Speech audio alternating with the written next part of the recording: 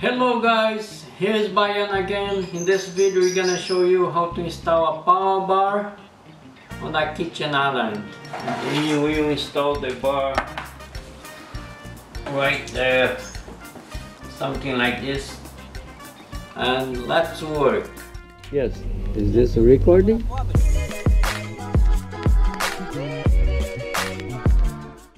Before we get into the video, I'm just gonna say sorry for the bird. We have a couple budgie. They will be making a little bit of noise, just to let you guys know. Sorry about it. We have a DeWalt drill, 20 volt, good piece to have. Bit is a wood bit, an inch and a quarter wood bit. We're gonna cut through MDF wood. And now we're gonna be use a drop sheet it's just a regular drop sheet. We just want to have a place to protect the floor a little bit and have a place to put the tools on top. We can use this tape, I like PVC tape. This one is a double side tape, so it has glue on both sides. We're gonna glue the power bar on the counter. We have this power bar, brand new, looking good. With, uh, we have a two USB port. We have the Sauger knife, all alpha tool that you cannot go without it. This is number one tool to any type of job. We're gonna have a video coming up with my favorite tools and I love them, they're great. Please subscribe and give your thumbs up. Put a like on it, thank you. Let's work. Yes, we just plan to just make a hole somewhere in there we will install the bar right there. Something like this. I'm just gonna give this place some protection in case some tools just fell off. First we gotta move the stove. We move the stove that way we have enough space. Here like you guys can see we have a lot of space so the wire not gonna be close to the back of the stove. And I show you here what we're gonna do down here.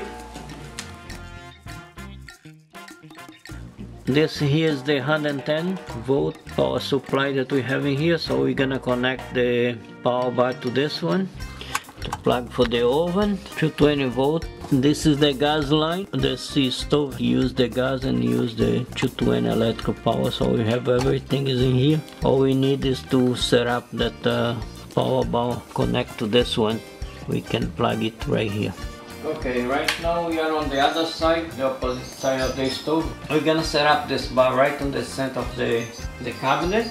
We're just gonna take some measurement.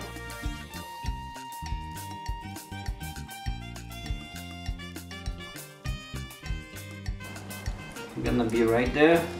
Because I need this wire to to make the loop. I'm just gonna make this hole about there.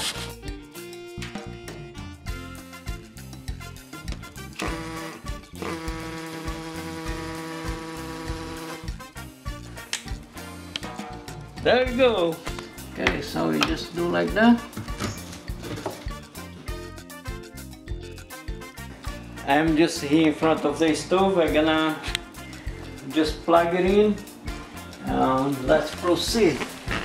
Okay so we're just gonna plug it in and uh, we're very much on the way.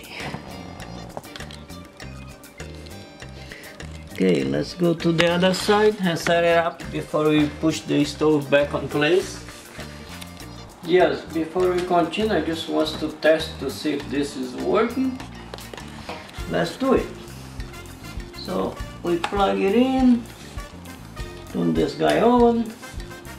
There you can see the power. It is work. I turn this guy on.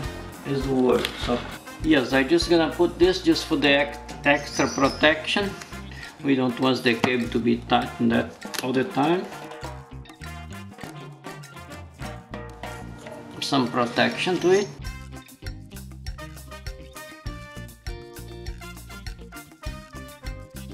double side tape we have in here. Just gonna put it on.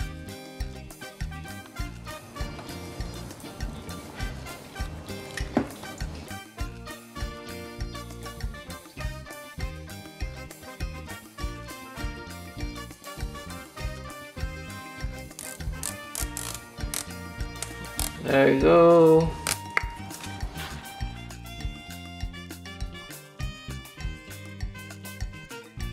We have the double side tape in here, nice and clean to go, right there.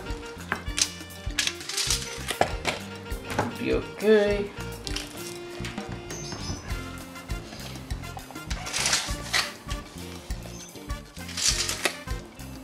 Should be right where we want it. Now we just put the tape in here to make sure the wire is, is tied to the back of the stove.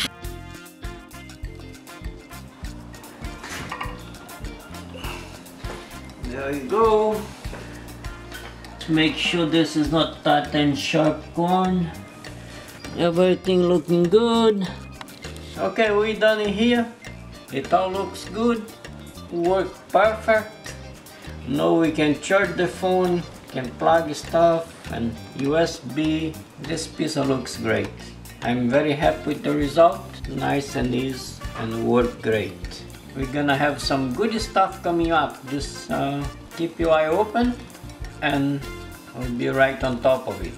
Thank you very much and see you soon.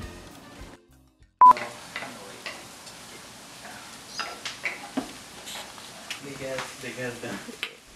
They get them. No more?